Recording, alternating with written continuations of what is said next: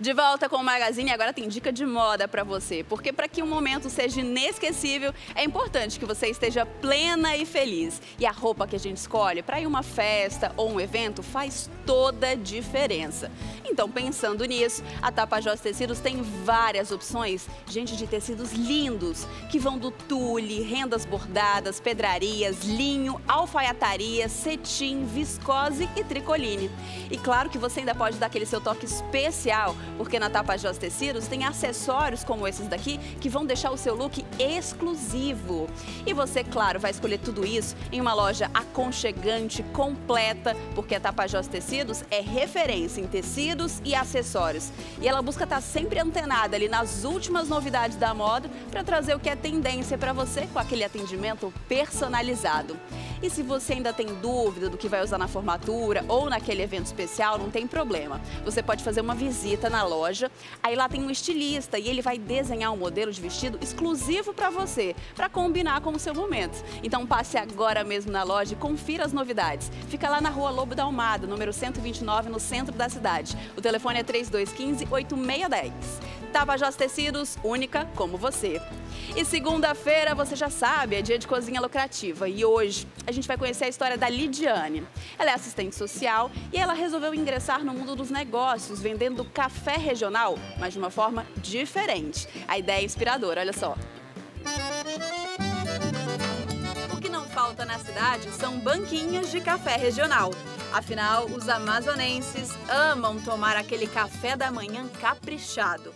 Mas o que a gente sempre diz no Cozinha Lucrativa é que para você se destacar, você precisa de um diferencial e usar a criatividade. Por isso a gente veio conhecer a Lili, da Lili e Vivi, Delícias Regionais. E fica aqui do meu lado, Lili, me conta. Primeiro, como é que você teve essa ideia de inovar, de trazer algo diferente para uma coisa já tão tradicional que é o café regional? Com o passar do tempo, nós descobrimos que as pessoas elas querem uma certa comodidade. Às vezes a pessoa acorda sete horas, oito horas, olha, ah, tá quente, ah, tá chovendo, poxa, eu queria tanto tomar aquele cafezinho quente, queria aquele pãozinho um x caboquinho, queria uma cesta de café para me deliciar com a minha família, mas eu não estava muito afim de sair de casa. Aí foi quando nasceu Lili Vivi Delícias Regionais Delivery né? Porque na verdade não é só você vender, você tem que trazer algo novo para a sociedade. Nesse espaço já funcionava um restaurante improvisado da família. E há três anos, quando a Lili teve o seu filho, ela decidiu investir na reforma do lugar para começar a vender café da manhã com a irmã. Hoje, irmã, marido, sobrinhos, todo mundo trabalha junto e o negócio vai de vento em polpa. E aí, se você quiser presentear alguém, tem a cesta de café completamente 100% regional, que também é um diferencial, porque a gente encontra muita cesta de café da manhã, mas com coisas industrializadas. Aqui nós temos o X Caboquinho, as nossas, todas as nossas cestas elas vão com a garrafa térmica e é opcional do cliente se ele quer tomar café com leite, se ele quer tomar somente o café preto, se ele quer tomar um Nescau, né? Uma, uma também das nossas grandes diferenças é as nossas farofas, Ludmilla. As pessoas amam a nossa farofa e uma das nossas queridinhas é a farofa de pirarucu com banana frita, né? Que nós é, temos a receita, né? Vamos passar aí para você, para você estar tá divulgando. É, para as pessoas que queiram saber, né? Eu acredito que me adequo à cozinha lucrativa, porque como eu lhe falei, eu tive que pedir a conta no meu trabalho, para mim poder ficar com meu filho. E essa farofa é um dos itens mais vendidos e você vai aprender agora, ao vivo, como preparar. É isso mesmo, a Lili já está aqui, vai ensinar a preparar. E o legal da história da Lili é que se assemelha de muitas mulheres que estão acompanhando agora o Magazine, que tiveram ali o seu primeiro filho e por conta disso quiseram se dedicar assim, mais de perto, ter é, mais tempo para ficar com ele e aí procuraram uma alternativa. No caso da Lili foi o café regional, mas a gente conhece várias histórias aqui no Magazine de mulheres que também fizeram isso com doces, com outros pratos, né, Lili? Seja é bem-vinda, bom dia. Muito obrigada, Ludmilla. E o bom é que deu super certo, né? Hoje você está muito mais próxima do seu filho, tem mais tempo para ele e está ganhando mais dinheiro. Isso, e junto com a minha família. Que é melhor ainda, é, né? Verdade. E é aí você, importante. de casa, vai aprender a preparar essa farofa que é delícia. E o engraçado da farofa aqui no Amazonas é que as pessoas tomam no café da manhã, uhum. Que você tem ali nas cestas e, e, entrega no delivery. À tarde também. À tarde no lanche, no almoço uhum. e, se duvidar, no jantar também. Tem pessoas que compram, levam para casa e comem à noite. Muito legal. E a questão do delivery, a Nath já fez uma pergunta que é bom a gente esclarecer. Ela entrega não só a cesta, se você quiser só uma tapioca com um cafezinho ou um, um pão com tucumã, é, é, você entrega individualmente. Entregamos. Da mesma forma que você recebe um X salada no seu lar ou no seu trabalho, você também pode receber um X caboquinho lá do Lili Vivi. Bom demais, né, Nath? Porque às vezes dá uma preguiça de sair de casa de manhã cedinho. Demais. E olha, eu tava impressionada aqui, porque assim, várias vezes eu já fiquei com vontade de tomar um cafezinho da manhã, de pedir uma tapioquinha, um X caboquinho, e não tem. Então quer dizer que você tem que sair da sua casa e ir até uma banquinha, até uma barraquinha, até algum local que venda para poder comer. E aí essa ideia é inovadora, eu adorei. Agora já anotei o telefone aqui que eu vou pedir quando é, eu estiver com chega tudo bonitinho, bem embalado. E vamos lá, preparar essa delícia, que é uma das farofas que mais saem lá, é a de pirarucu. Primeiro, Lili, eu queria que você explicasse sobre a questão da escolha do pirarucu, que é muito importante, que é um dos ingredientes principais Sim. dessa receita, né? O pirarucu, ele tem que ser o pirarucu seco. É uhum. É aquele pirarucu salgado. Ele não pode ser o pirarucu fresco. É, a partir do momento que você escolhe o pirarucu salgado, você precisa primeiramente dessalgá-lo.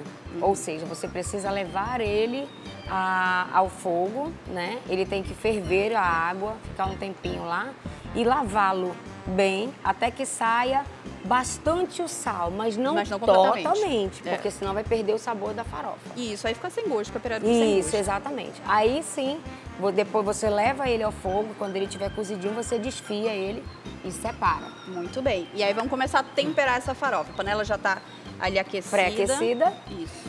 A gente coloca o azeite. De preferência azeite, né, Lili? Isso, azeite. Porque o pirarucu, Lude, ele nada mais é do que um peixe, uhum. né?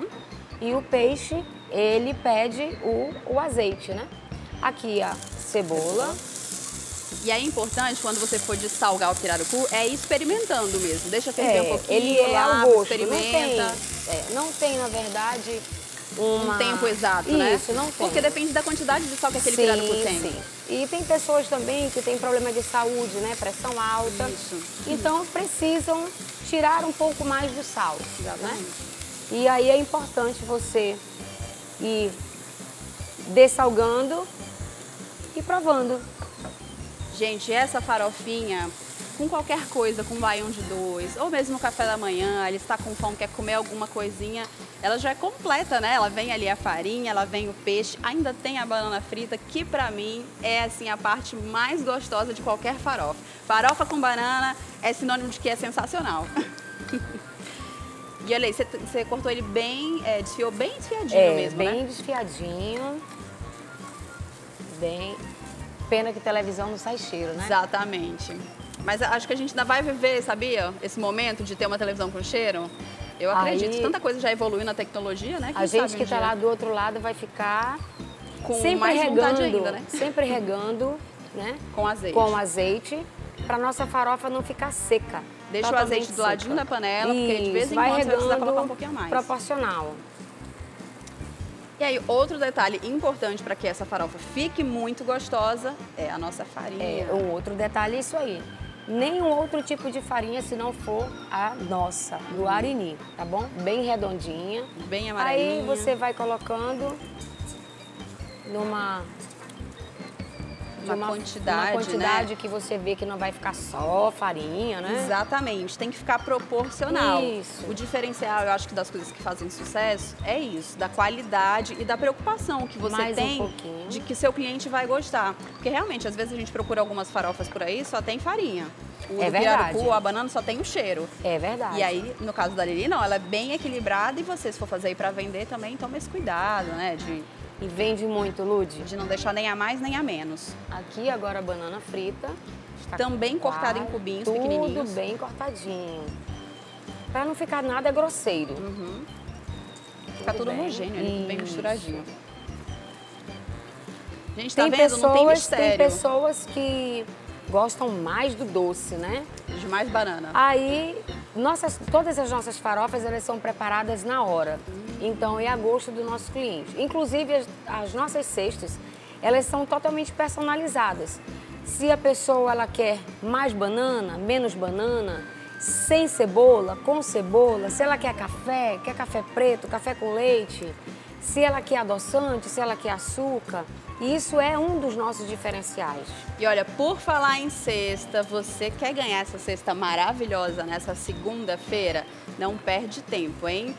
A Nath já tem uma dica do que você precisa acertar para levar esse presente. É isso mesmo. Olha, a cesta sensacional, gente. Hum, tem tanta coisa gostosa aí dentro. Olha só, ainda há pouco no primeiro bloco a gente falou de vários assuntos. Um deles sobre carnaval. E aí, será que você lembra o que a gente falou sobre carnaval? Então, essa é a dica de hoje para você levar para casa essa cesta cheia de delícia, gente. E ó, o telefone é 21 23 10 20. Vai ligando porque daqui a pouquinho já vou atender ligação. A dica é o assunto de carnaval, hein? É daqui a pouquinho, Lud. Não perde tempo, liga logo, hein? E olha, Ó, por último, já tá a gente pronta, colocou né? o cheiro verde, que é o que dá um toque todo especial. Também e a nossa farofa está pronta. E aí, para eu conservar ela bem crocante, qual é o segredo, Lili? Ah, vou contar só pra você. Você promete que não conta pra ninguém? Só, só pro pessoal de casa. Ah, então tá bom. É, a farinha do arini, antes de você é, levar ao fogo, você leve ela para torrar no forno. Eu coloco numa forma, ali Isso, coloca espalhada numa mesmo. forma, espalha e coloca ela para torrar. Ela te dá uma crocância assim. Olha, tá aí o segredo para sua farofa ficar bem crocante. Coloca antes no forno. O tempo tem um- uma média? Não, é você vai olhando, vai mexendo nela. Quando você vê que ela tá fazendo um certo barulhinho, Uhum, já pode tirar. ela já está boa. E olha só que maravilha, vou pegar meu prato para servir e experimentar essa delícia que foi preparada ao vivo aqui junto com vocês de casa. Enquanto isso, enquanto a Lili vai colocando aqui no prato, eu quero passar para você os valores de quanto você vai gastar aproximadamente e por quanto você pode vender uma farofa como essa. O quilo da farinha do Arini, é claro que você tem que pesquisar e, né, em vários lugares, mas a média é de 7 reais. O pirarucu seco, o quilo, em média, 25 reais.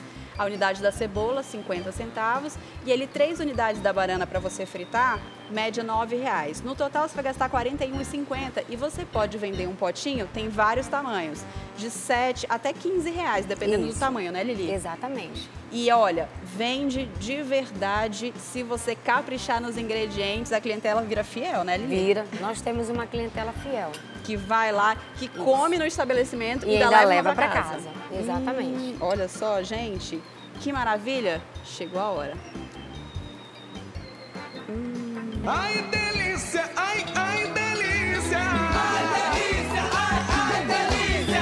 Ai, isso delícia! Ai, gente. Não precisa de mais nada. Nem arroz, né? É.